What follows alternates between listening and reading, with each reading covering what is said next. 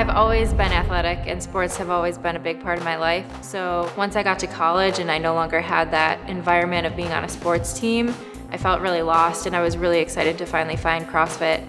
It's so much more than just exercising and improving your health. It's about supporting each other to be better in all aspects of your life. So once you are part of a CrossFit gym and part of that community, you immediately have a support network and you have people who are gonna help you and want you to succeed in anything that you're doing in life. So for someone looking to start CrossFit, I would tell them not to be intimidated and not to be afraid. If you walk into a CrossFit affiliate, you'll quickly see that there's people in the gym that are just like you. There's people who have been athletes for their whole lives. There's people who maybe didn't work out at all until they were, you know, in their 30s or 40s. I very rarely take a day completely off. I usually like to do at least something just to get my body moving and help it recover, whether it's rowing a 5K at a really slow pace or doing yoga or you know, going for a jog. I like to at least get something in. My favorite cheat meal is anything with chocolate. So usually chocolate ice cream.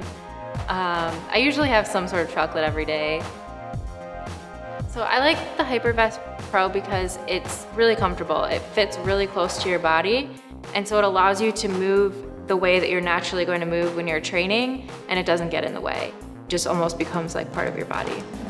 Other weight vests that I've used have had bulkier weights or they haven't been as close fitting. So I think the vest has been a crucial part of my training over the past few years especially for developing my gymnastics proficiency. So I use it a lot when I'm just working on skills like handstand push-ups, pull-ups, muscle-ups, rope climbs. It allows me to make gains much quicker than I would if I weren't using it. So now more than ever, now that I'm recovering from my Achilles repair and I can't do a lot of lower body, the vest is gonna be really important for me to help keep my upper body strong and to provide more variation for all the different exercises that I'm doing. I like the sand bells and the steel bells because they're odd objects. It's not a nice barbell or a nice dumbbell that you're gonna use and have a handle, but it's more like something you would encounter in real life. So I think the sand bells add a good aspect of variance to your training as well.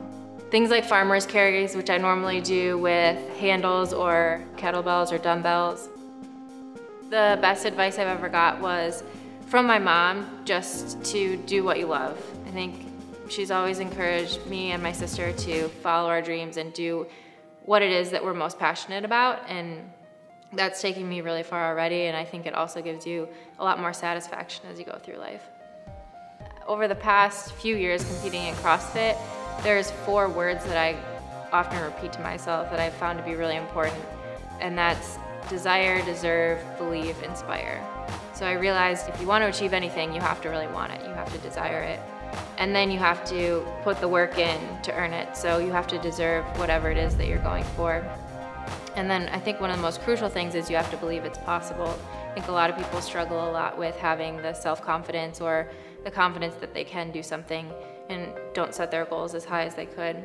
And then inspire because for me, that's uh, provides a lot of the reason why I do what I do is hopefully it can inspire other people to then live their lives more fully.